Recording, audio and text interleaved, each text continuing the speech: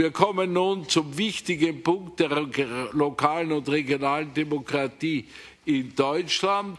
Wie Sie sehen, ist es auch immer wichtig, dass wir uns mit den Fragen auch in jene, der regionalen und lokalen Demokratie in jenen Ländern beschäftigen, die ein hochentwickeltes demokratisches System haben, das nicht nur auf nationaler, sondern auch auf regionaler und lokaler Ebene vorhanden ist, wie auch auf administrativer Ebene wie in Deutschland.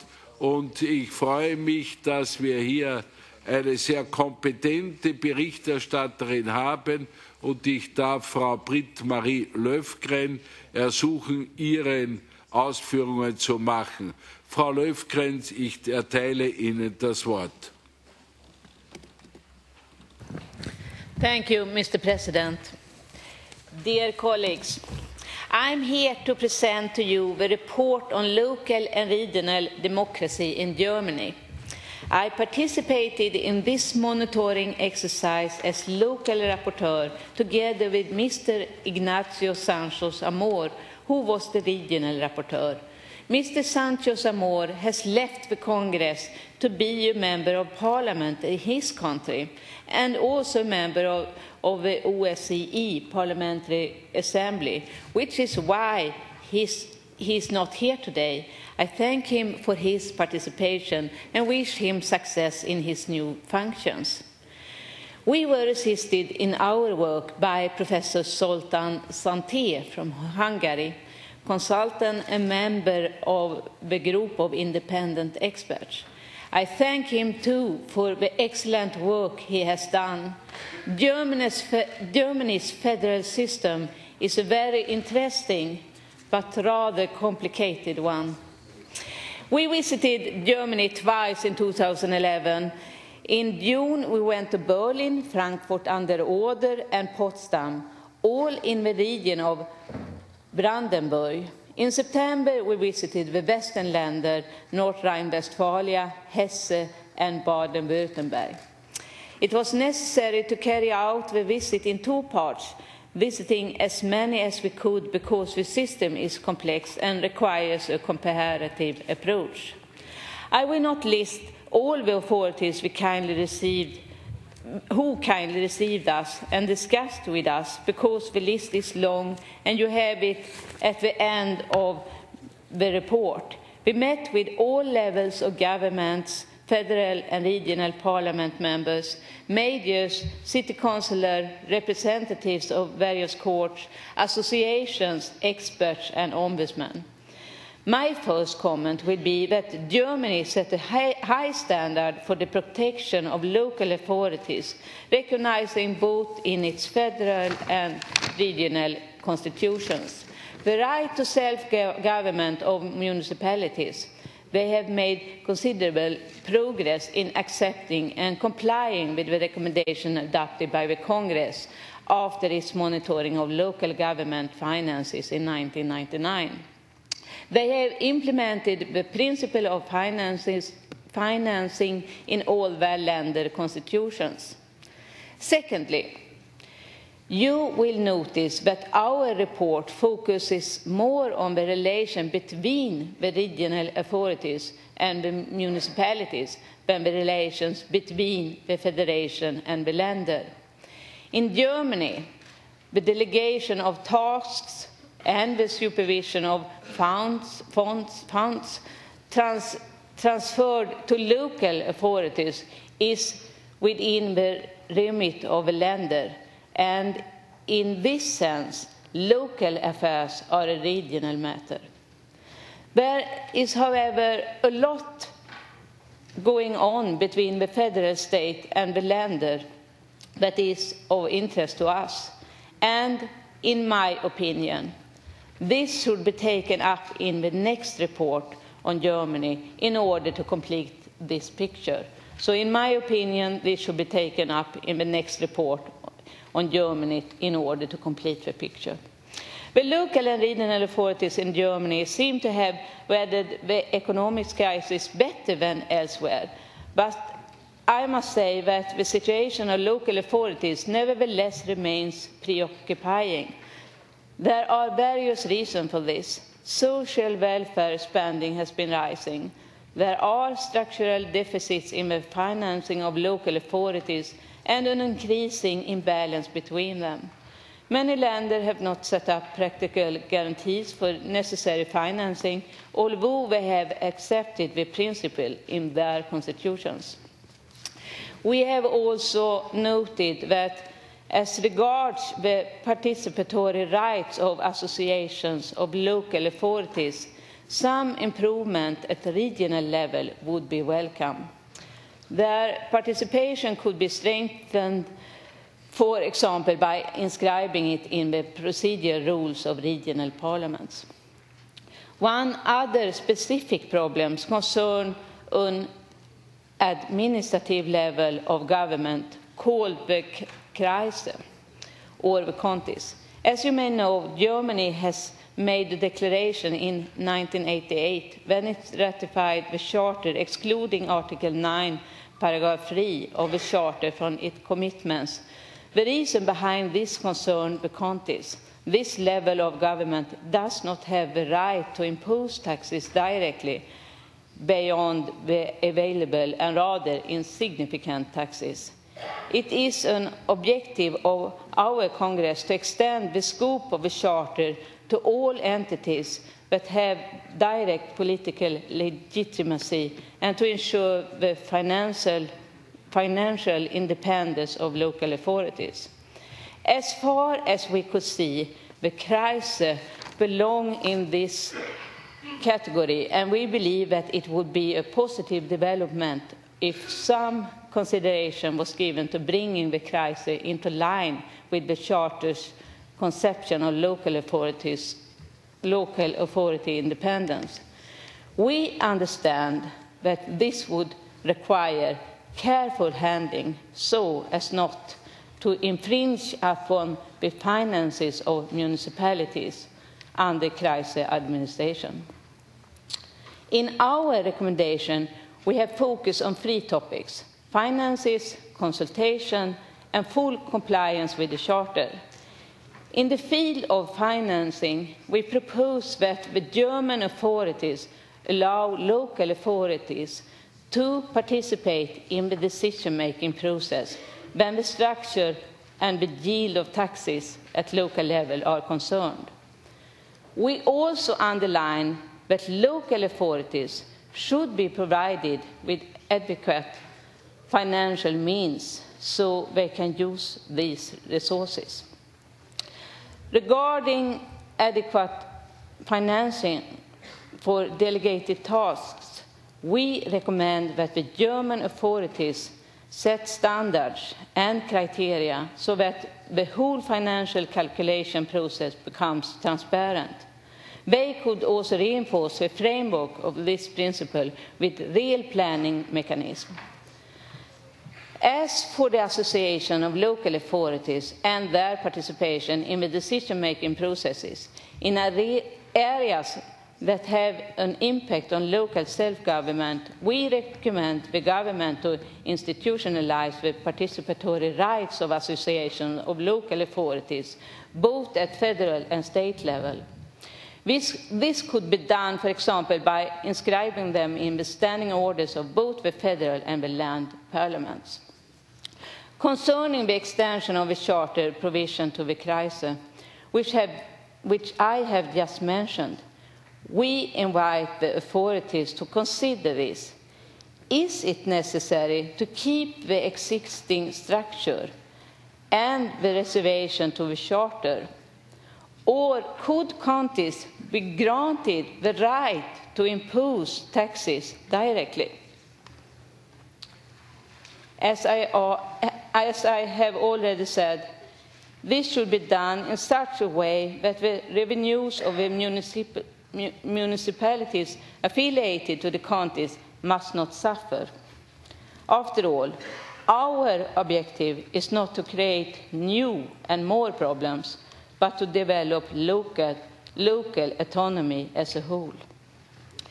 Finally, we have invited the German authorities to sign and ratify in the near future the additional protocol to the European Charter of Local Self-Government on the right to participate in the affair of local authority. Colleagues, the Monitoring Committee approved the preliminary draft recommendation at its last meeting in Stockholm. And I hope that you will be in a position to adopt this recommendation as well, with the proposal of amendments that I would like to submit to you vote and which I think reflects better the existence of the declaration formulated by Germany regarding the scope of applications of Article 9, paragraph 3 of the Charter. Uh, at last, I would like to uh, address a special thanks to the co-secretary of the Monitoring Committee of the Congress, Mrs. Sedev Konkuchak, and her work with this report. I thank you, Mr. President. I thank you for your attention. Danke für Ihren Bericht, Frau Löfgren. Ich danke auch unserem Kollegen Sanchez Amor, der ja, wie gesagt, wurde Mitglied des spanischen Parlaments wurde. Ich darf das Wort nunmehr Herrn Günter Krug erteilen, dem Delegationsleiter der deutschen Delegation.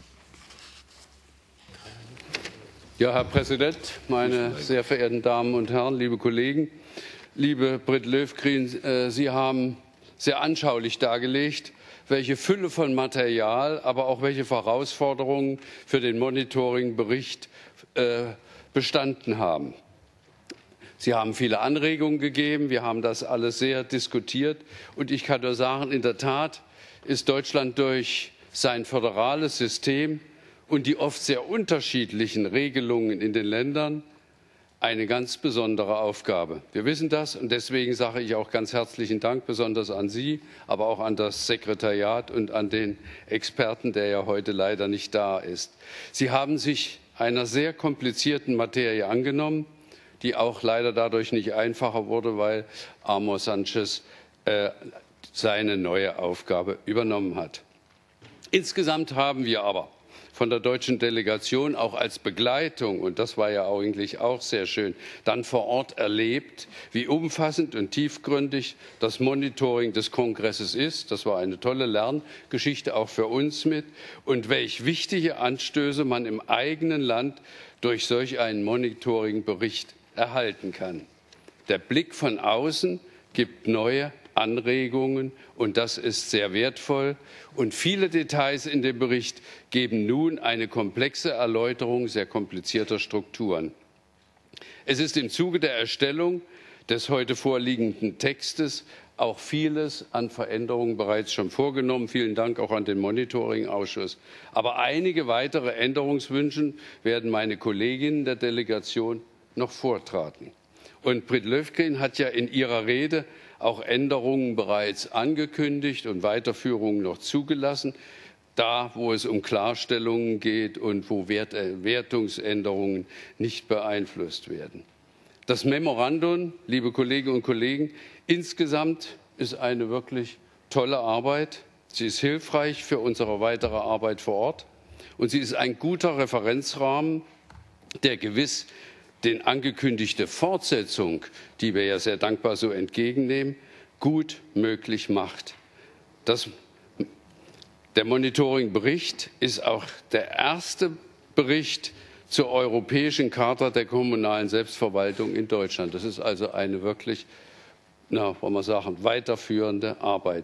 Ich danke nochmals allen herzlich, die daran gewirkt haben. Danke für die gute Kooperation und denke, wir haben damit auch eine gute Grundlage für die weitere Diskussion hier. Vielen Dank. Vielen Dank, Herr Krug.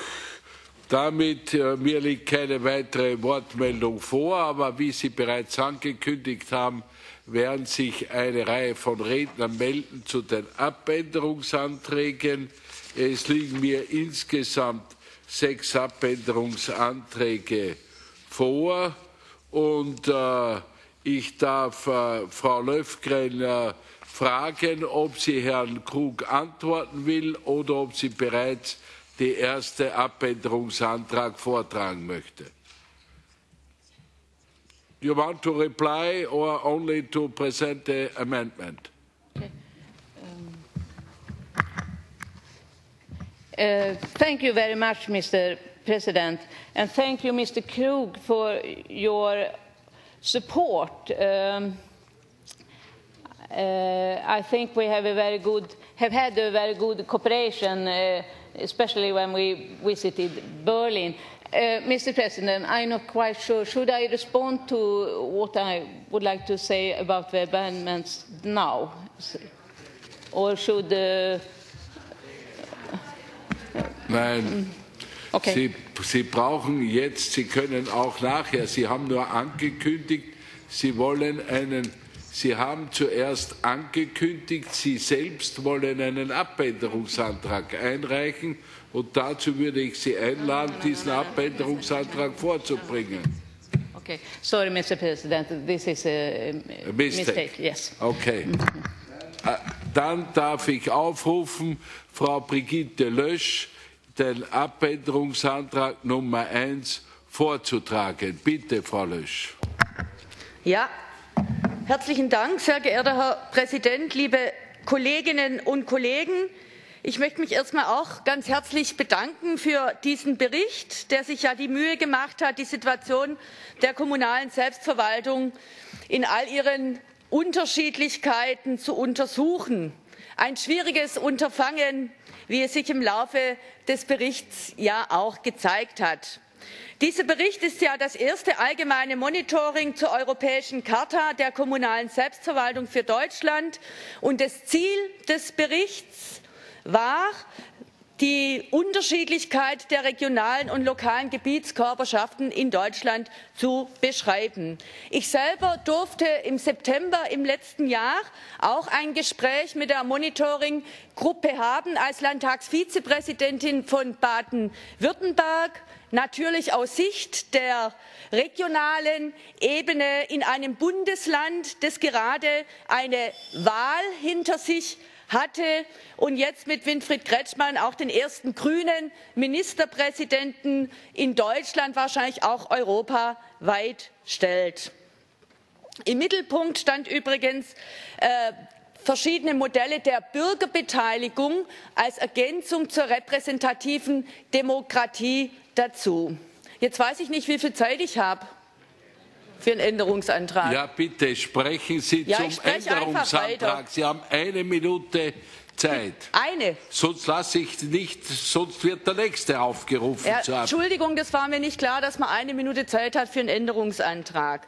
So, ich möchte an dieser Stelle ganz klar sagen, dass der Bericht nicht nur bei mir eben einen sehr zwiespältigen Eindruck hinterlässt, weil eben die zentralen Punkte der Zusammenarbeit zwischen Bund, Länder und Kommunen nicht hinreichend erfasst worden sind. Und deshalb haben wir ja auch jetzt diesen Änderungsantrag eingebracht, der da bedeutet, dass die deutsche Delegation anregt, einen zweiten Monitoring Bericht zu erstellen, der sich ausschließlich mit den Fragen der regionalen Demokratie beschäftigt. Deshalb sollte die Konzentration des vorliegenden Berichts auch im Titel zum Ausdruck kommen. Aus diesem Grunde schlagen wir eine Änderung des Titels vor, statt Local and Regional Democracy in German den neuen Titel eben nur lokale Demokratie. Herzlichen Dank. Sie haben den Abänderungsantrag von Frau Lösch gehört. Wer wünscht gegen diesen Abänderungsantrag das Wort ergreifen? Es scheint schlüssig zu sein, was hier Frau Lösch argumentiert hat. Bitte, Frau Berichterstatterin. One minute. Thank you very much, Mr. President, um, dear colleagues. I do not agree with this amendment, but I would suggest a change, which I hope you can agree about. If you look at paragraph 10 of the explanatory, explan, memorandum, you will see that I explain that the report focuses on map, mapping out the situation of the local authorities and their relation with the land governments. And the reason for this, in the sense we do talk about the regions in our report. I therefore suggest that we keep the title as it is, but add part one. So it's, and in brackets after the title. We can add part two to the title of the next report, which will examine the relation between the lender and the federal government. Those two reports would cons constitute the complete picture on Germany. Bitte, Frau Lösch, ich sehe also in Ihrer Wortmeldung einen Kompromissantrag, auch wenn er nicht formuliert war. Wären Sie mit diesem Kompromiss einverstanden, Frau Lösch? Ich muss sagen, dass ich den Kompromissantrag nicht sehe, weil sich äh, gerade Na, in der Ziffer. Wenn Sie den Kompromissantrag sehen, dann stimmen wir über Ihren Abänderungsantrag ab. Ich würde wer begründen, ist für, wer für diesen Antrag ist, jeder hat nur einmal das Wort. Wer ist für diesen Antrag, Abänderungsantrag 1, der drücke 1. Wer dagegen ist, wie die Frau Berichterstatterin die Meinung ist, der drücke 2. Wer sich enthält, drücke Nummer 3. Bitte. Die Abstimmung ist eröffnet. Ja, ist aber noch nicht da. 15 Sekunden.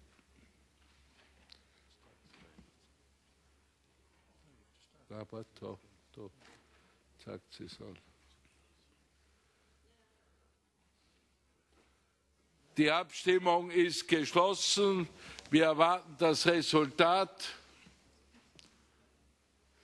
34 sind für den Abänderungsantrag, 29 dagegen, 15 Enthaltungen, womit der Abänderungsantrag angenommen ist.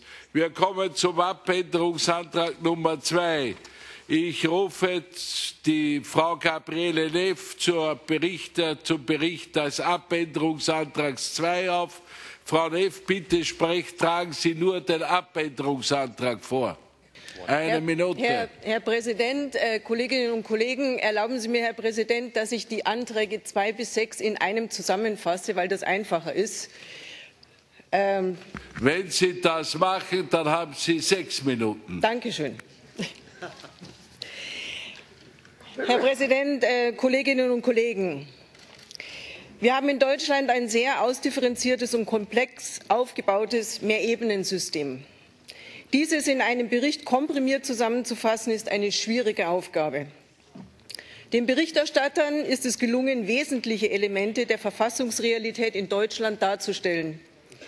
Die Finanzsituation der Kommunen in Deutschland ist nach wie vor schwierig, und dieses ist nicht allein der Finanzkrise geschuldet, sondern auch einer strukturellen Unterfinanzierung im System. Dieses spricht der Bericht auch an einigen Stellen an. Besonders freut es uns, dass der Bericht konstruktive Vorschläge macht. Wir begrüßen es sehr, dass der Bericht vorschlägt, Standards und Kriterien zur Einhaltung des Konnexitätsprinzips festzulegen und die Anhörungsrechte der kommunalen Spitzenverbände zu stärken. Das sind auch zentrale Forderungen unserer Städte, Gemeinden und Kreise in Deutschland. Die kommunale Selbstverwaltung in ihrer starken Ausprägung wird gerade auch von den Bürgerinnen und Bürgern als hohes Gut wahrgenommen. Denn hier leben sie und hier, so empfinden viele von ihnen, treffen sie auf ihren Staat in Form von ihrer Stadt, Gemeinde oder Kreis. Der Bericht kann den Kommunen in Deutschland eine große Hilfe sein, ihre Rechte gegenüber Bundes- und Landesregierungen zu stärken. Er kann uns als weiteres Argument in der Diskussion dienen, um die kommunale Selbstverwaltung in Deutschland zu stärken. Aus diesem Grund haben wir die vorliegenden Änderungsanträge eingebracht. Die Anträge 2 bis 5 sollen die im Bericht aufgestellten Schlussfolgerungen konkretisieren ohne dass sie in ihrer Zielrichtung und inhaltlichen Aussage geändert werden, damit wir sie als Argument zu Hause in Deutschland verwenden können. Lassen Sie mich kurz etwas zu den einzelnen Anträgen sagen. Bezüglich des Antrags 2 der sich auf das Konnexitätsprinzip bezieht, möchten wir darauf hinweisen, dass hier wahrscheinlich bei der englischen Fassung, die ich gesehen habe, ein redaktionelles Versehen unter, unterlaufen ist. Bei der deutschen Fassung ist es richtig gefasst. Wir möchten vorschlagen, die Nummer 5c des Empfehlungsentwurfs zu streichen. Das möchten wir eben nicht vorschlagen, sondern wir möchten vorschlagen, die Nummer 5b, die sich mit dem Konnexitätsprinzip befasst, zu ergänzen. Bitte, was sagt die Berichterstatterin dazu? Sind Sie einverstanden oder dagegen? Mr. President, dear colleagues, uh, talking about Amendment 2, I agree with the amendment, but I would suggest switching the two parts of the sentences for stylish reasons as follows. Uh, one of the main reasons for the structural underfunding of local authority lies, lies, in the fact that they do not receive sufficient funding from central land government in return for responsibilities assigned, assigned, to them. The principle of concomitant financing is not always sufficient. Uh, Bitte, sind Sie dafür oder sind Sie dagegen? Sorry. Uh,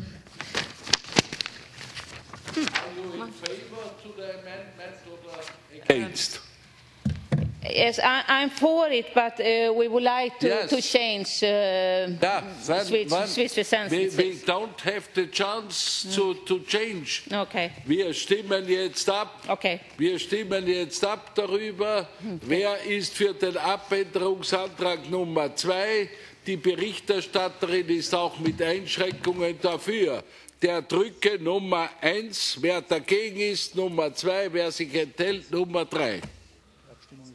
Die Abstimmung ist offen.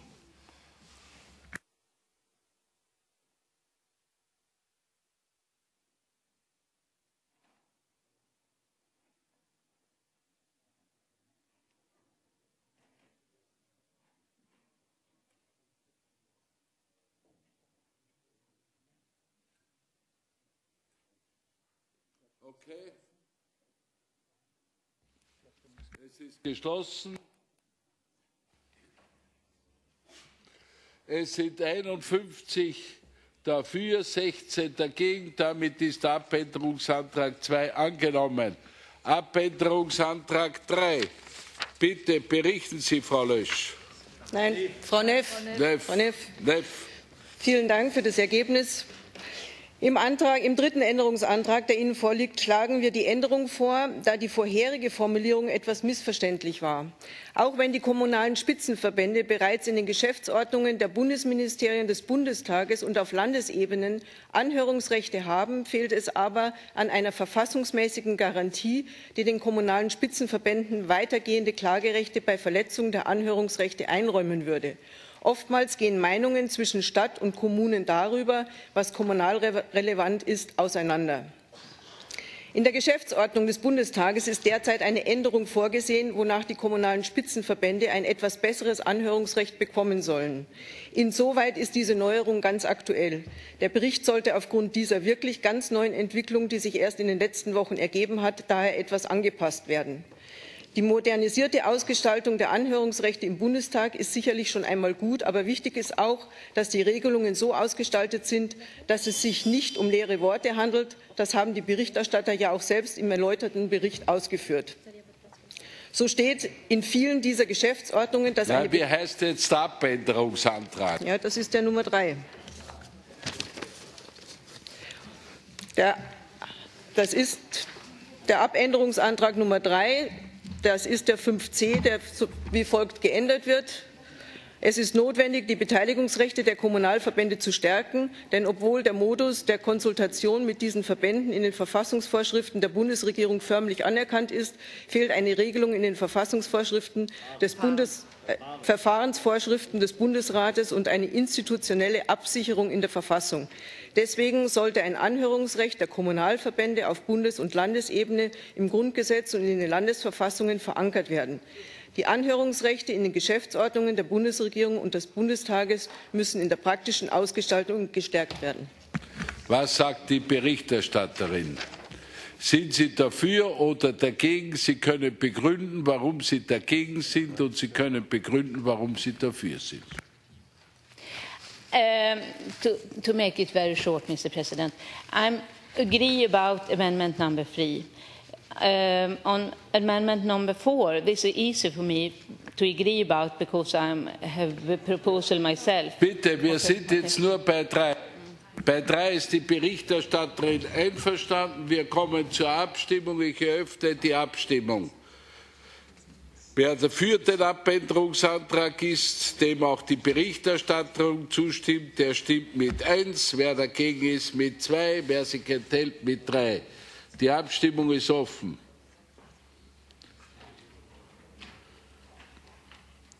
Die Abstimmung ist geschlossen. Wir haben 68 Pro, 6 Nein, 4 Enthaltungen. Damit ist der Abänderungsantrag 3 angenommen. Wir kommen zum Abänderungsantrag 4. Eine Minute für die Begründung, dann bereits den Abänderungsantrag, bitte. Ähm, Ich möchte zuerst auf Antrag 5 kommen. Und zwar, weil Sie müssen jetzt zum Antrag Gut, dann 4 komme ich reden. auf Antrag 4. Bei Anträgen 4 ist dieselbe Thematik und ähm, ich wollte es zwar mit 6 zusammenfassen, aber dann nehme ich es jetzt auf 4, was sich hinterher auf 6 bezieht. Ich möchte, dass, Antrag 4, gesch- äh, dass äh, im Antrag 4 heißt es, dass wir den Absatz 5d streichen, und zwar mit der Begründung, die Kreise werden umlagefinanziert. Die Erhebung einer eigenen Kreissteuer würde die Finanzkraft der kreisangehörigen Kommunen schmälern. Es entspricht nicht dem Grundgedanken der Verfassung, dass Kreise eigene Steuern erheben. Dieses ist in der Natur des Verhältnisses der Gemeinden zu den Gemeindeverbänden begründet, da die Kreise im Wesentlichen abgeleitete Rechte und keine eigenen wahrnehmen.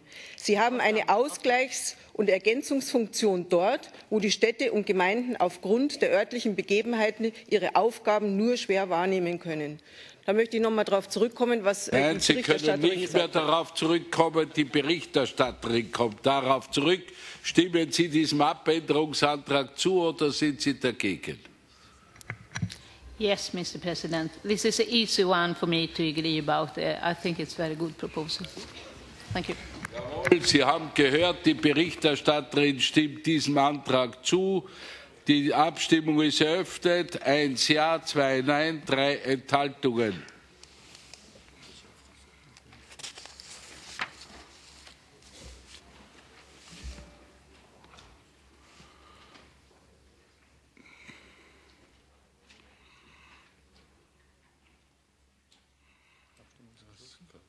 Die Abstimmung ist geschlossen.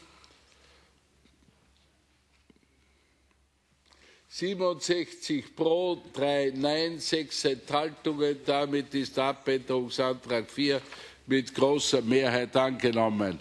Zum Abänderungsantrag Nummer 5 erteile ich Frau Neff das Wort. Bitte, Sie haben das Wort. So, der Antrag Nummer 5 bezieht sich auf die gleichen Aspekte wie in der Begründung von Antrag Nummer 3.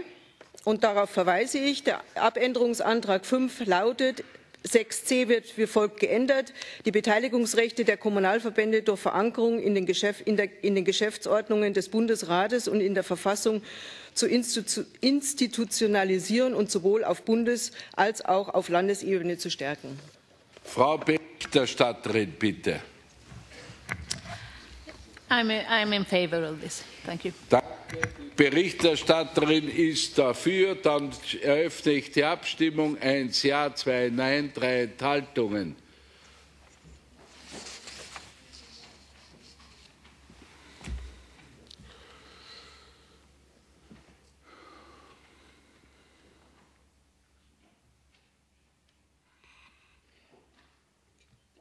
Die Abstimmung ist geschlossen. 69 dafür, zwei dagegen, vier Enthaltungen. Damit ist auch der Abänderungsantrag 5 mit großer Mehrheit angenommen. Ich erteile das Wort zum Abänderungsantrag Nummer 6, Frau Gabriele Neff. Sie haben das Wort. Der Abänderungsantrag 6 beinhaltet, äh, den Absatz 6d zu streichen mit der gleichen Begründung wie bei Antrag Nummer 4, eben wegen der, dass keine Steuer erhoben werden kann. Ich nehme an, die Berichterstatterin stimmt zu. Jawohl, Okay, vielen okay. Dank, Frau Löfgren. Okay, Damit haben wir, kommen wir zur Abstimmung Nummer 6. Wer dafür ist, 1. Wer dagegen ist, 2. Wer sich enthält, 3.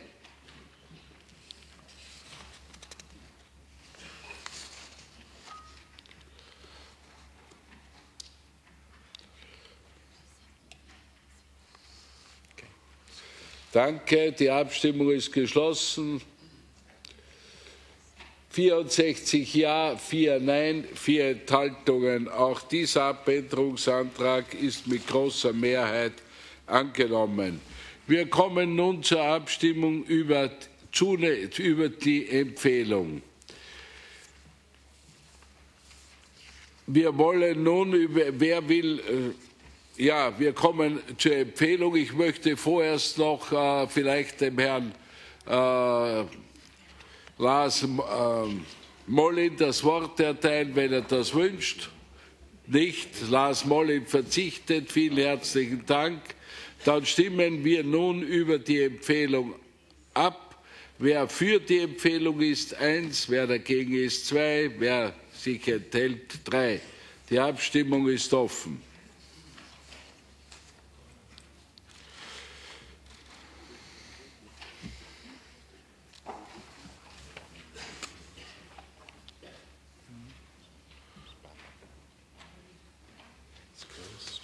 So ist geschlossen. Das Ergebnis 73 Ja, 2 Nein, 3 Enthaltungen. Damit ist diese Empfehlung enthalten im Dokument CG 22 mit der notwendigen Zweidrittelmehrheit angenommen. Wir haben nun diesen schwierigen Punkt abgeschlossen. Wir kommen nun, wo ist der Präsident ist coming.